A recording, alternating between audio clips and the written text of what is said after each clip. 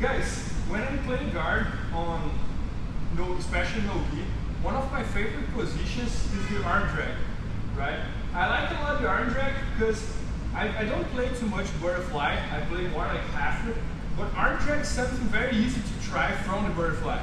And I believe that in no gi, you, you ha we have no options. We gotta end up playing butterfly, right? Because we, we don't have too much engage with my open as you have with the gi.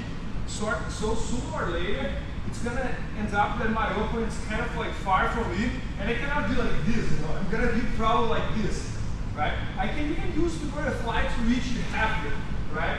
But I wanna have options as well when I'm the butterfly.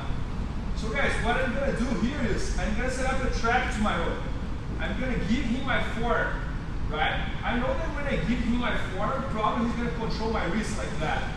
So when he does that, I'm going to open my hand against his wrist, I'm going to open his leg, and I'm going to go behind his triceps.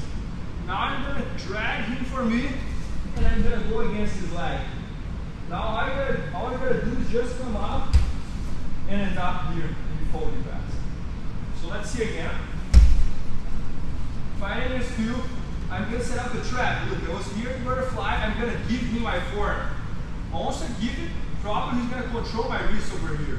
So now I'm just going to open my hand against his wrist. I'm going to bring him to me and drag his arm. So I'm here.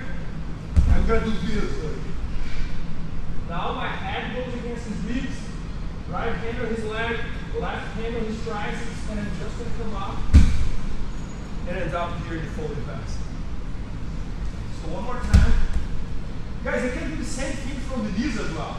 If he's on the knees, I can always give him my form. Once he grabs I'm gonna open, open my leg, drag, go against his leg, and finish. So it doesn't matter if he's standing or if he's from the knees, I can always make the trap. So I give him my form, once he controls, I drag, and then I come on.